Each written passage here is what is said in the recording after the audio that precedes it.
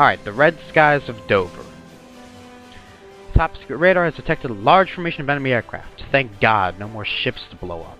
Approaching the cliffs of Dover at high speed. Well, what speed would you expect? They're attacking us. The 41st and 64th squadrons have been scrambled to intercept. Yeah, two additional attempts sounds good. The only difficulty level I have is arcade, so I don't know why they put an option there, but okay. Maybe I have to beat the game to unlock other difficulties. Yeah, I think 2 is good. Alright. Let's go.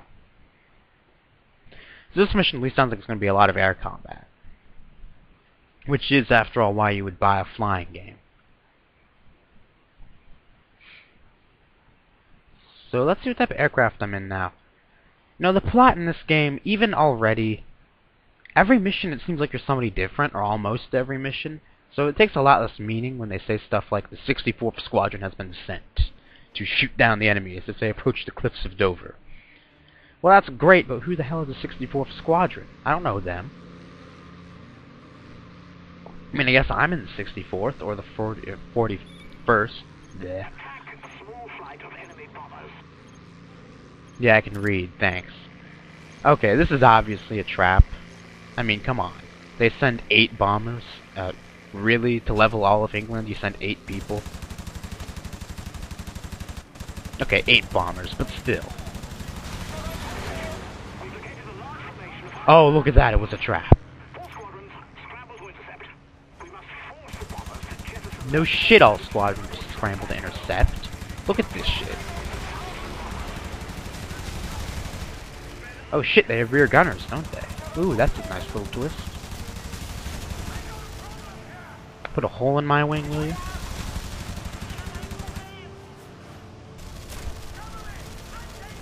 Ah, shit.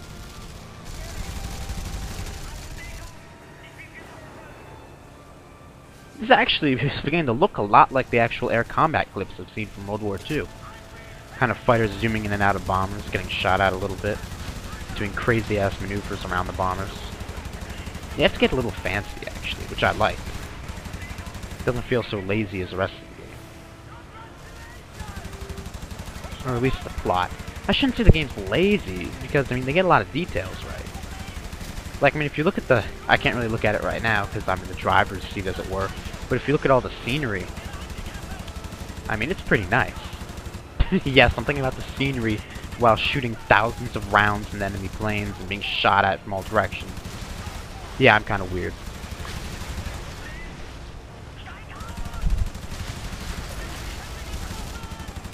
Ah, crap.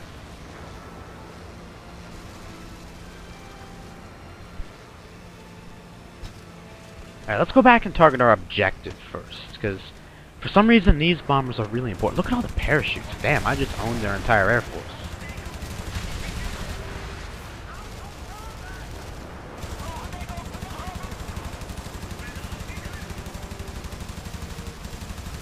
Don't push the nose down, just turn on the propeller a little bit faster.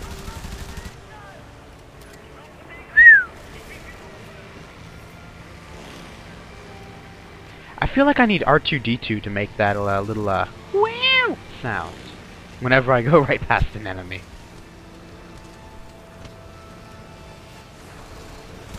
Oh, shit. Nah, that was a fail.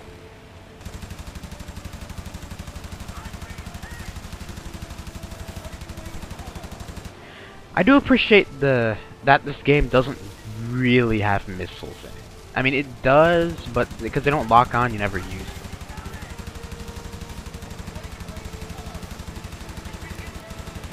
In a lot of ways, it makes the combat much more up close and personal, much more intense. Ah, crap. I knew that was going to hit me. Alright. Well, I bailed out. It's all good. That would suck if you didn't bail out, you know? Last minutes of... I mean, hopefully you just get knocked out or whatever. From all the G's, but dang, that would suck if you were awake for it. Because, I mean, you just know you're screwed. But you're going down and getting sick and stuff. Alright, well, let's go. Let's go get him.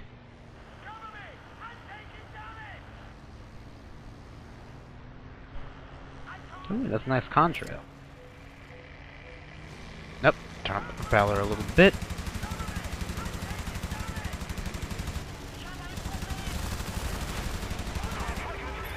Yeah, I took you out upside down. My god, ships, really?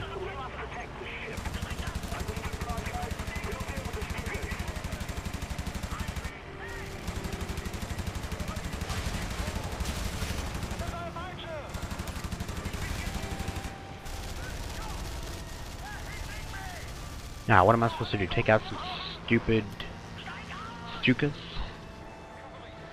Now, I love history, but Stukas is something I've never heard of. I don't know, maybe I should have. Oh my god, more Ju's.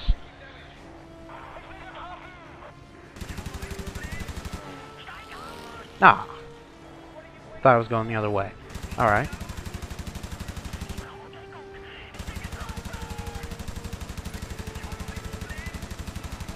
So wait, are these JU fighters, or are they Stuka? Shouldn't Stuka be abbreviated with like an S or something?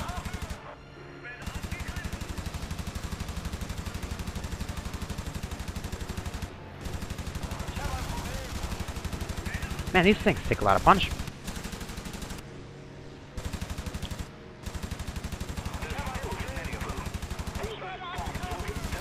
God! There you go clip the wing finally. There's oil all over my cockpit here. Oh, there's another.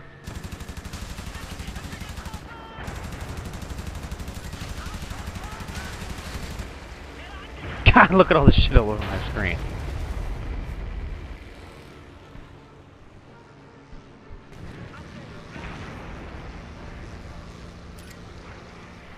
You know, couldn't somebody else help me out here? I mean, I'm taking a four on one. Oh hey, they can. I finally have an attack option in the uh, squadron command section. Cut the engines. Whoa, shit, that was close. These things are going like the most annoying speed possible. Dude, get out of the way. Yeah, now I know how Spoony felt.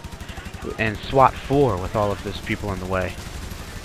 Stand in my spot, sir. Ah, let's continue. Let's shoot them all down. I said yes. No, gear up.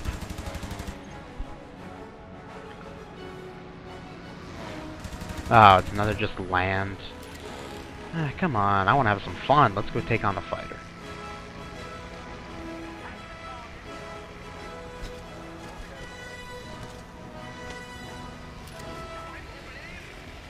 No good, they actually shot someone down.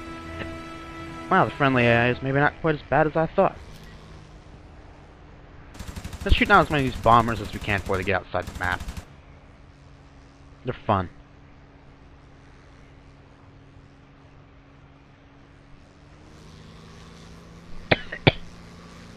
Sorry about any coughing, I'm getting over a sickness right now.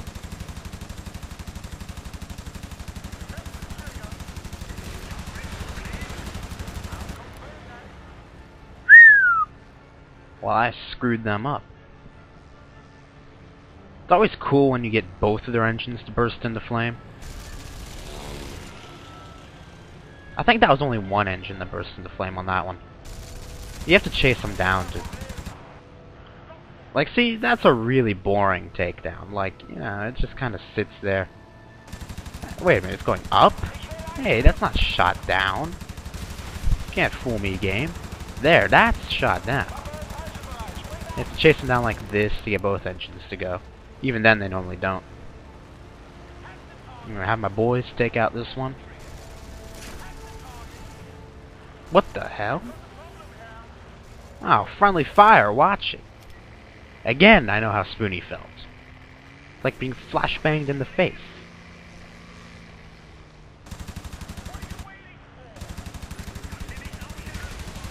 By the way, if you want to see a really good Let's Play, check out Spoony's Let's Plays of uh, SWAT 4.